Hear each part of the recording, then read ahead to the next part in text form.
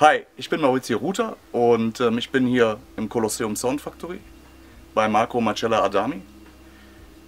Und ich muss sagen, ich bin mehr als überwältigt, was ich bekommen habe. Ich habe hier eine EP mit fünf Songs produzieren lassen und ich bin einfach sprachlos, was das Endergebnis angeht.